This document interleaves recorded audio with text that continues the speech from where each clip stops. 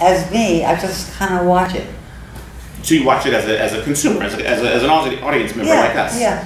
Do you look at the Do you look at the choreography? Do you look at the the, the, the spotting? Do you say, "Oh my God, they didn't hit that No. the eight count that I was"? Not anymore. I did that way back. You did that way back. Way back. That was then. Now it is what it is. Yeah. You know? Yeah. Right. So tell me this: the life of a choreographer. I'm, I'm so glad you're here because I never get to talk to choreographers. It's so great. Okay. So the question is, the question is, uh, number. Let's first one. When do you come on? When did you come on to this project? Oh, very, very early, because don't forget I had done the show. Right. And the show started way off Broadway.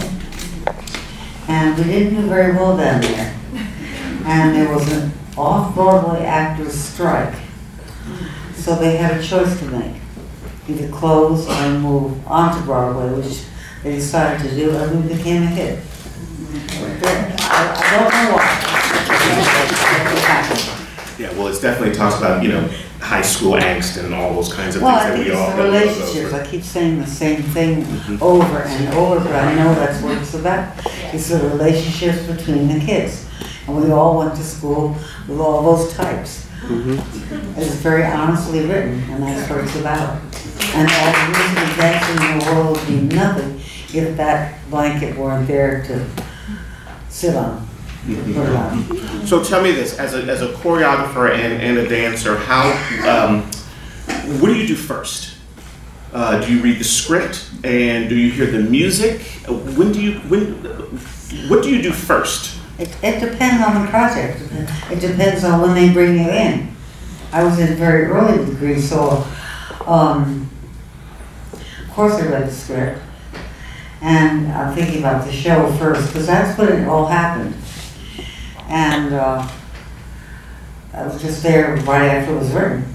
Now, do you create for, I mean, because you're moving it from the stage to the film, um, talk to about moving it from the stage to the film. Oh, Was that, was that an oh, easy different. process or, was it- or, Well, it's just different because the stage is proscenium. You're looking right at it like I'm looking at you guys. And film is 360 degrees or 180, and you have to cover it from all sides. Mm-hmm. so You what see happened? backs, you see front fronts, you see middles, you see high, you see low. There are shots here up, there are shots feet. You get a chance. Lighting tells you where to look on the stage or and focus.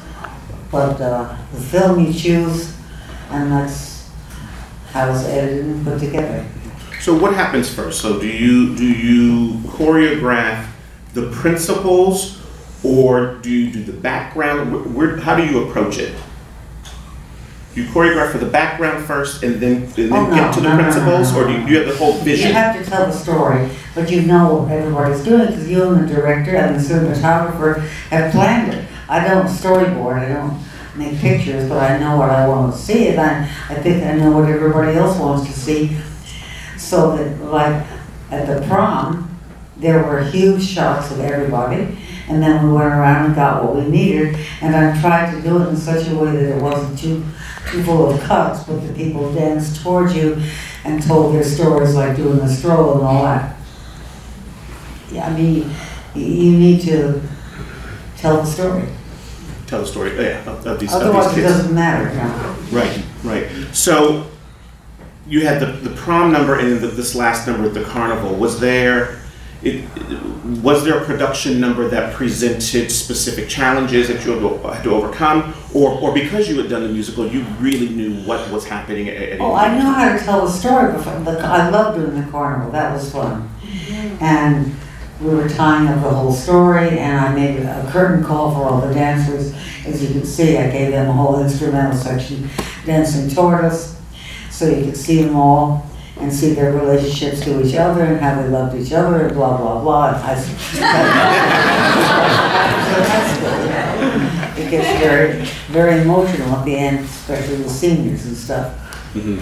Uh, and, and what about the, the, the cast? Were there were there people who uh, were there professional dancers? As- And, and you know you had the actors. Were the actors also singers and dancers too, or was it hard to get them? What was that training like? That you know rehearsing them and getting them with the Well, dance we in? had three weeks, almost a month of rehearsal. Hmm. And if you go through the cast, um, I mean, John is such a natural mover, oh my God. Yeah, he really is. You don't have to do much there. And, um, Olivia moved very well. And, uh, the rest, they all moved well. Yeah. We did it in character. Yeah. Well, my favorite, like I said, is Cha Cha. She's still really terrific. Annette Charles is just so terrific in that prom scene. That's interesting because, you know, in this show, Cha Cha was a big fat girl. But they oh wanted a big fat girl. I I wanted that in the movie, but they didn't, they didn't want to do it. I mean, it was a reality. They had, he didn't have his right partner and he had the, she was the only choice. And then at the very end in the show, which I love too, which we did do in the movie, because we didn't have a big fat cha-cha. everybody went home and she was standing there alone with her trophy. That was what we saw at the club. Poor cha-cha with the trophy. It was so real and so good and they, they wouldn't do it. Same way we had palm trees. Boy, did I hate the palm trees. Why So that? it's an urban story, or it was an urban story, but I, you know, um, they had to make it more suburban. They wanted to make a movie that would sell. You know, greasers and kind of nasty kids in high school only sold a limited house. So that's interesting. Yeah, they had to change it to make it, yeah, more Yeah, commercially we had to appealing for kind of make it commercially Yeah. acceptable. Yeah. Now, tell, tell us about you, Pat. I mean, you're from Englewood, New Jersey. No, I was born You were born in Englewood, Jersey, I'm sorry. And then when did you start dancing? Very, very early in the local dancing schools like everybody else. Were you inspired by anything in particular? Uh, that said, I just want to move, you wanted to move also? No, they sent me to dancing school and I liked it. It was that simple. I did like everybody else, you know. The tap, the interpretive, and the ballet. You did it all. We all did it all. And how did you, how you make, how did you make the, the transition from dancer to choreographer? That just kind of happened. It was nothing I really wanted to do.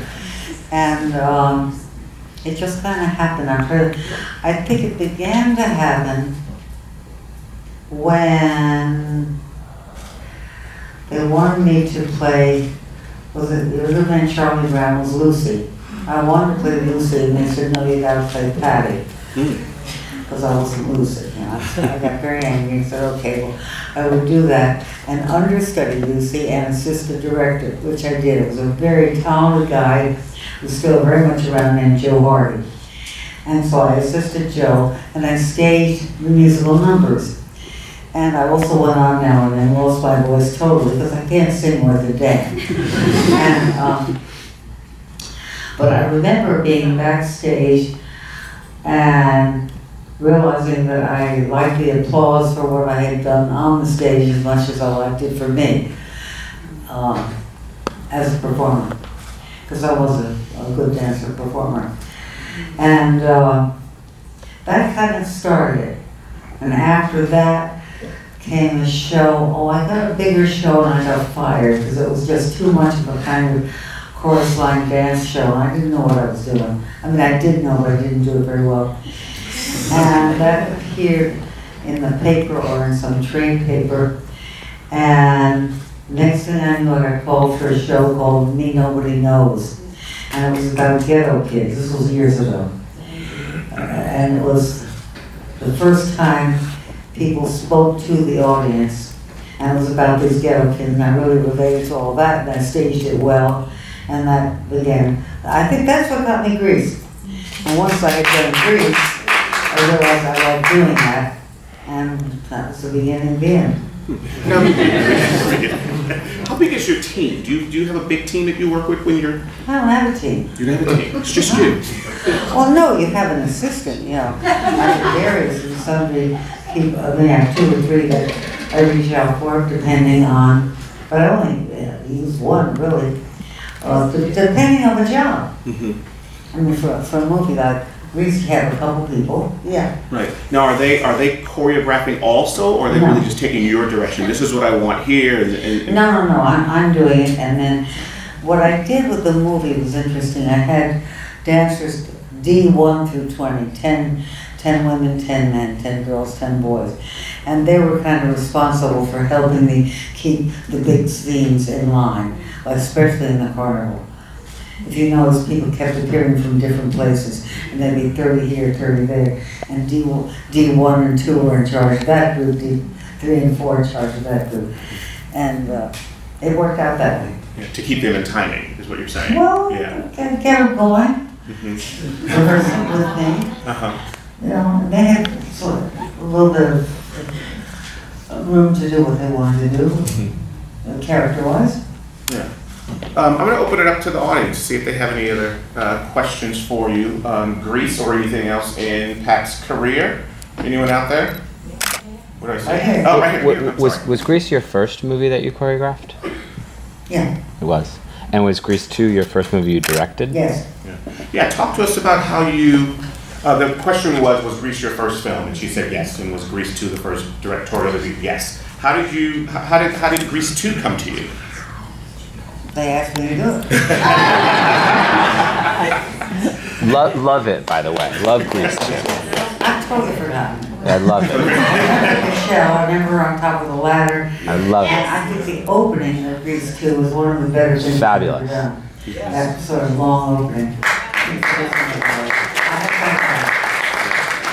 Now, tell me this. I mean, Randal Kleiser. Randal Kleiser is the director of Grease.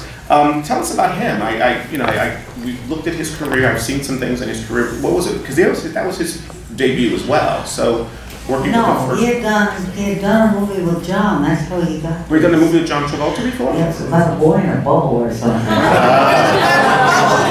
Yeah, about the boy in the bubble. Yeah, the boy in the boy in the plastic bubble. That was television, though. Am I am I I correct? think so.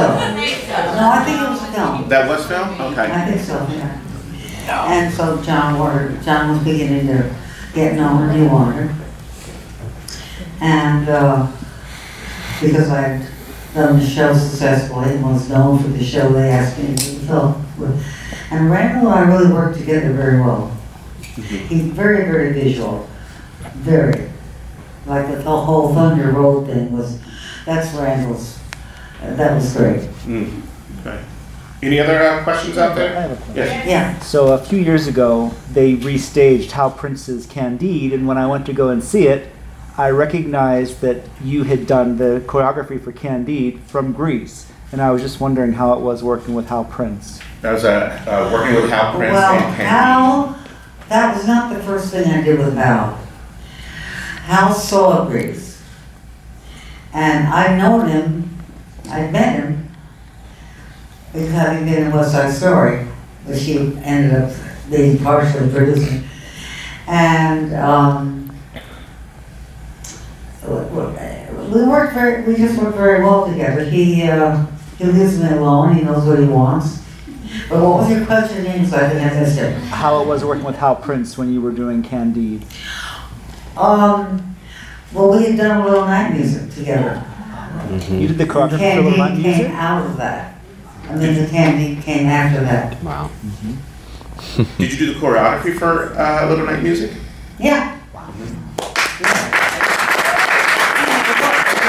They were leading singers, it was very quiet choreography. It was a great, great score, one of the greatest scores I've ever heard. I think I heard someone in the back who had a question. Oh, here, Yes. young lady here. Yes. Um, which number in Grease was your favorite to choreograph, and which number were you most proud of how it ended up? turning What was that? I'll get it. Which which number in Grease was your favorite to choreograph? And the second question, which one was the most challenging? Um, no, which one were you most pleased with? Oh, which one were you most pleased with? I think the whole carnival, and we go together, and before that, Yeah. the one I won, all that stuff, I, I think that was my favorite, and what I think what I did the best. I think Summer Nights is pretty damn well done too.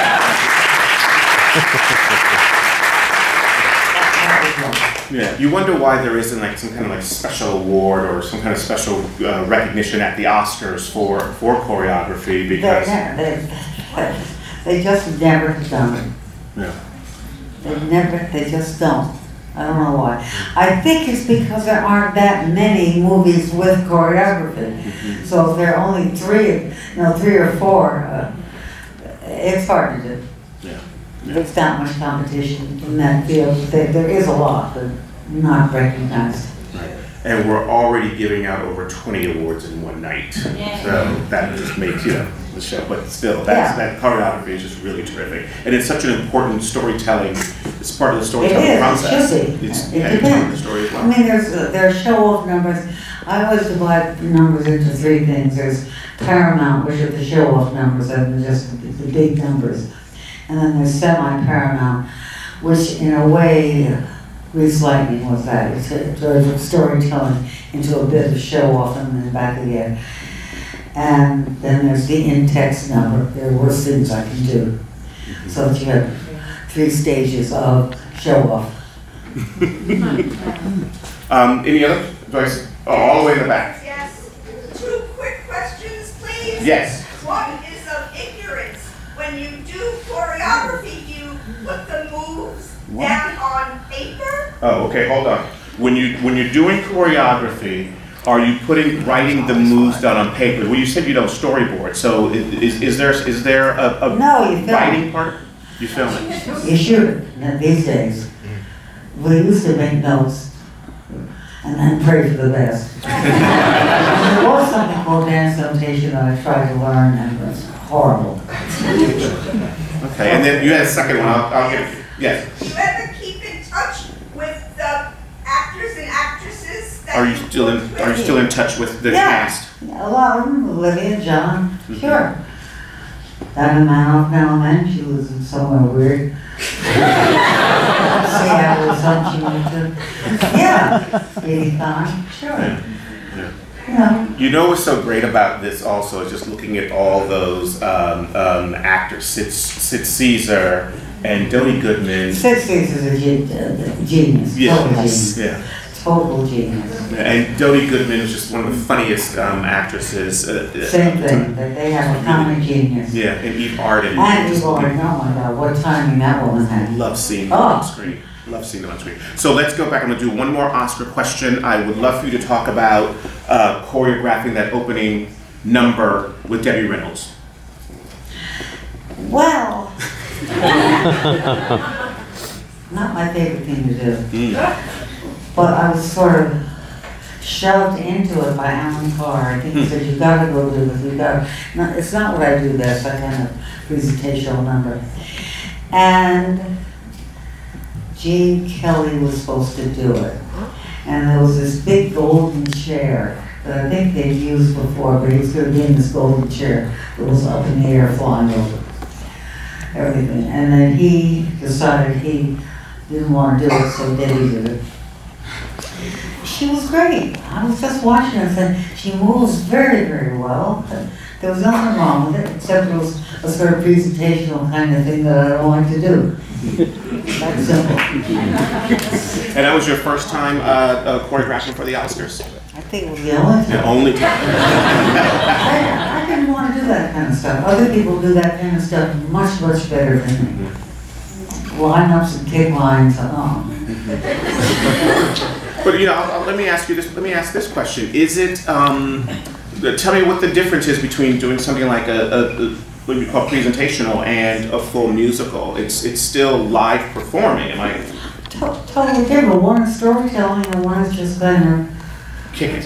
Well, it's not kicking, it's, it's more abstract. Now, I'm better when I have something, I have a, a constructed story or a constructed move that's going somewhere. I get lost doing just steps. Mm-hmm. So I just get lost. I'm no good yeah, so it is There are always. people that are very good at that. You know, give me a kick line, I'm pretty good for sixty-four counts, and then if I don't know why I'm doing it, it falls apart. If it's part of a story, I'm great. I mean, when I did Boardwalk Empire, I had those uh, chorus songs the whole time, but they were part of storytelling. And if they were dancing here, there was a story right there, it was all related. That's where, that's where I live. I don't live in, you know, pretty presentational stuff.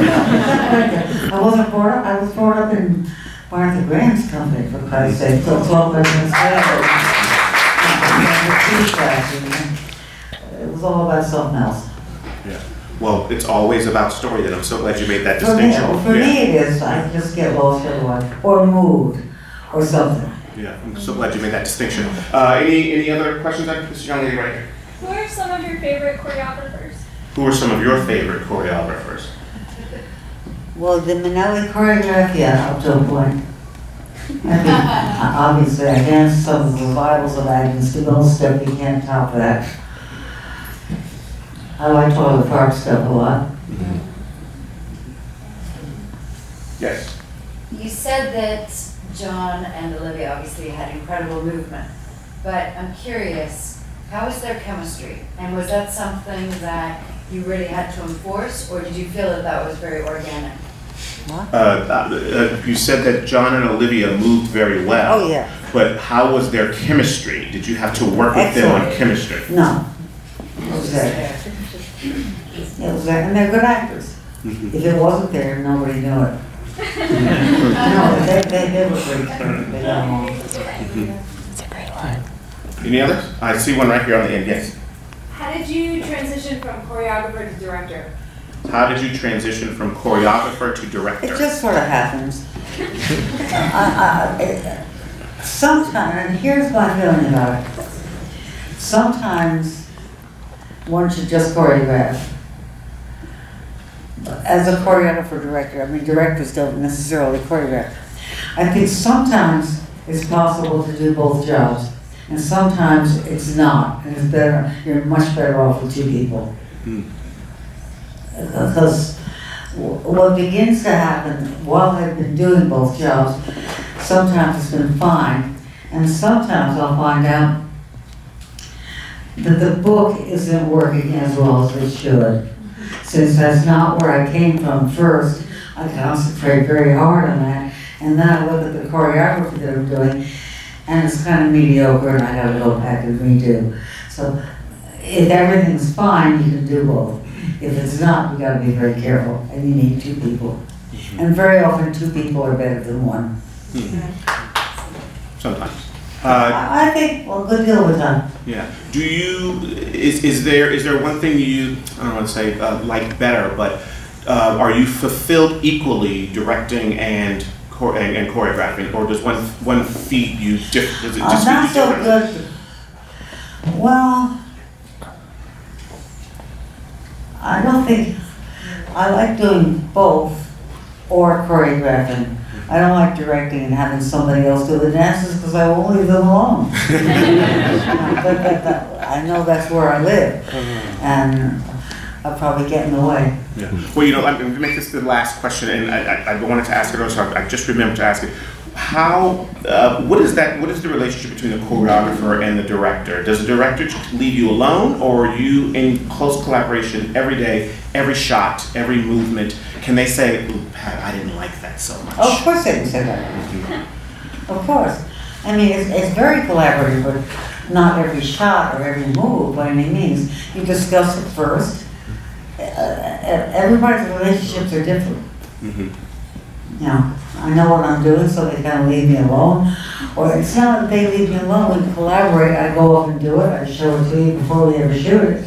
If you don't like something, we say, well, why don't you like it? What do you feel it's not doing? I mean, the best thing I ever, while I was, I did some stuff with the Boston Opera Company, and they had a great director named Sarah Caldwell. And people didn't like her much, she was very tough. And I remember one opera I was doing for her early on. And I did, and I said, okay.